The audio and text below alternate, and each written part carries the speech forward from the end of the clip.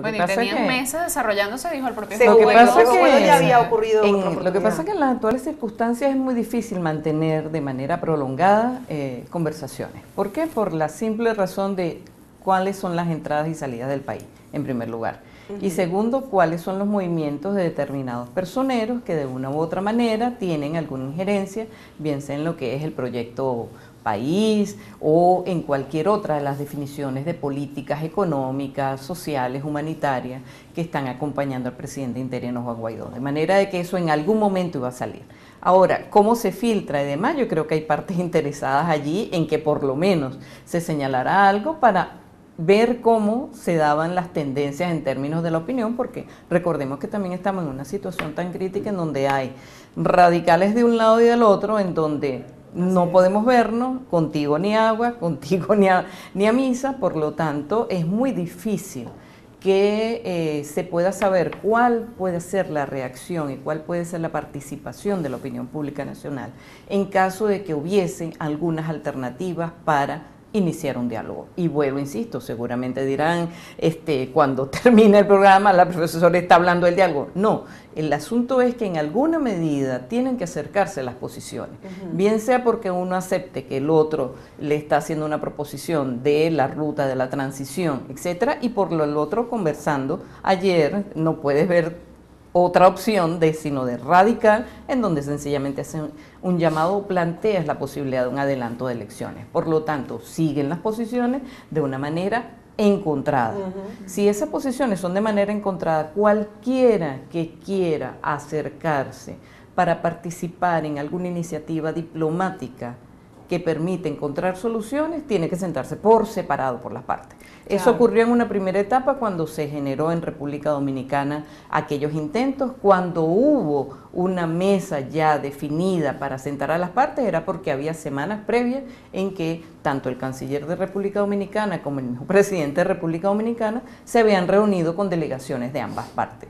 El tema está en que no es tanto que se sepa, sino si se filtra y no respetan las reglas básicas de una negociación porque que se sepa que están reuniéndose, bueno, ya no es secreto que hay algún tipo de intentos. El asunto es cuáles son las condiciones bajo las cuales podrían sentarse.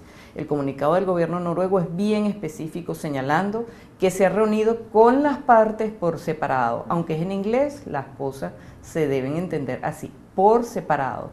Sí, y que son encuentros exploratorios. Son encuentros exploratorios. Por lo tanto, una declaración como la que hace el señor Arreaza, ayer también señalando que lo que se ha instalado en una mesa de diálogo es poco menos que darle la cachetada también al gobierno noruego, cuando no es eso lo que se ha generado. entonces están turbiando. Ocurrió así con el Vaticano también. Exactamente. entonces, ¿cuál es la disposición real siquiera a sentarse? Entonces, hay un reconocimiento de hecho, porque fíjense que hay una situación real dentro de, de Venezuela, pero no hay una disposición efectiva a sentarse a buscar algunas condiciones.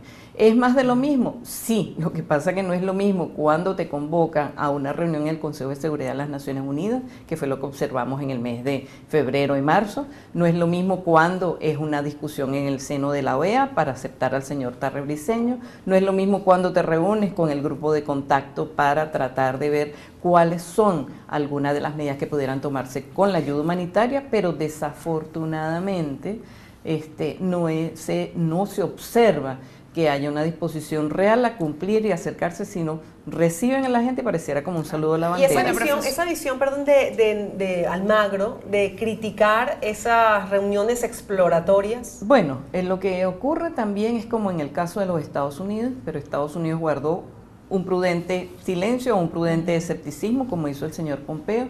Recuerden que hay posiciones también que tienden es a que se deben aumentar las sanciones, presionar políticamente, presionar diplomáticamente y no iniciar cualquier otra gestión. Esa es, eh, digamos, la explicación que sustenta las declaraciones del señor Almagro porque definitivamente él está abonando el terreno desde hace ya varios años, si recordamos, en términos de la presión diplomática, en términos de la aplicación más fuerte de la Carta Democrática Interamericana, acompañando algunas de las gestiones que pudieran tener mayor presión sobre la ayuda humanitaria, por lo tanto sus declaraciones son coherentes con lo que ha venido haciendo. con su propia línea. Con la línea que ha venido desarrollando. Ahora, profesora, ¿en qué punto nos encontramos si uno de los representantes del grupo de contacto de la Unión Europea, específicamente el representante representante Italia, dice públicamente que luego de haberse reunido con Nicolás Maduro lo que observan es que siguen negando la situación que atraviesa Venezuela. Pues se ratifica una vez más la poca disposición y lamentablemente creo que estuvimos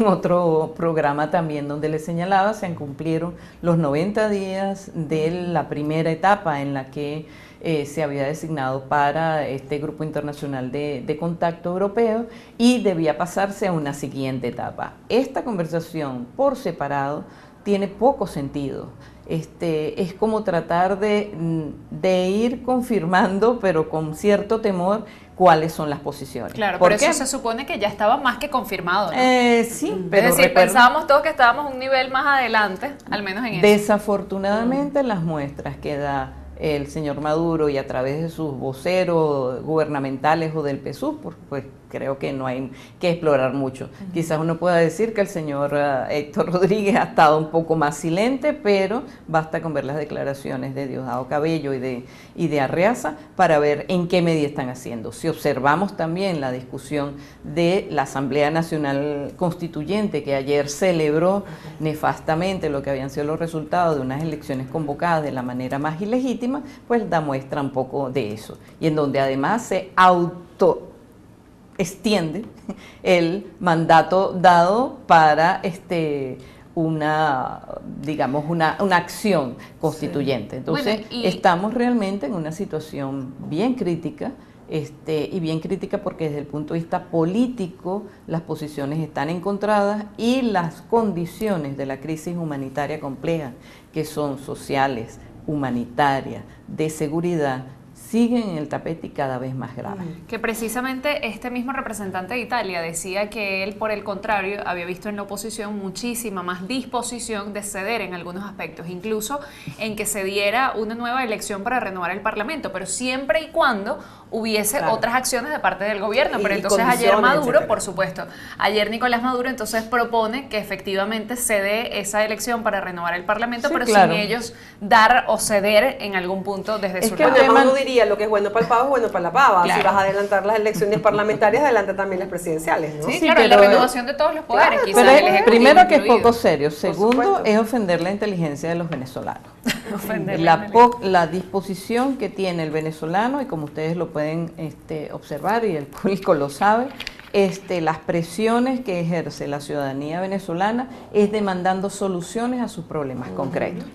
Inclusive si tienen que sentarse a negociar, puede que los critiquen y puede que los vean de otra manera, pero demanda soluciones efectivas. Entonces es una cachetada estar convocando elecciones pero con dos, con una asamblea constituyente y con una asamblea nacional, con los mismos poderes, con un eh, Tribunal Supremo de Justicia electo en el exilio y con un Tribunal Supremo que manda que, o sea, eh, realmente es una burla. Entonces, este, es exigir un poquito más de, de seriedad en la disposición de las soluciones, porque desafortunadamente la crisis va a pasar a otras escalas. Bueno, los hilos se siguen moviendo desde el exterior, ¿no? Por lo visto. Así es. Eh, y nosotros acá... y la de aquí son los elementos de fuerza, porque entonces es eliminarle la inmunidad parlamentaria de una manera ilegítima, persecución o cualquier otra mentira respecto a la solución de los problemas económicos. Y amenaza por todos lados, porque ayer vimos amenaza desde la constituyente, amenaza desde Maduro. Amenazas a ustedes mismos como, como medio, porque bien lo saben. Sí. Entonces, eh, bueno, va a presentar ahora el, plan país, pero desde el punto de vista internacional en la Universidad Católica de En la Universidad Católica sí, como, como mucho decimos, la resistencia y el trabajo ciudadano es de largo plazo. Esto, si bien es cierto, son inconvenientes, pues no podemos paralizarnos, porque pensamos en el futuro. Claro. Y hoy, eh, una de, la, de los elementos que hay, que es en la academia y el plan país, entonces vamos a estar discutiendo en la mesa de relaciones internacionales varias propuestas, porque... Qué bueno. Eh, hay, que, seguir trabajando. Esa es parte de nuestra resistencia. La resistencia es de presiones por un lado y de contribuciones de nuestra parte. Por supuesto. Muchas gracias, profesora, como siempre, por estar acá con nosotros. La verdad que lo apreciamos muchísimo. Mirna Jonis, internacionalista, miembro de la Junta Directiva del Consejo Venezolano de Relaciones Internacionales.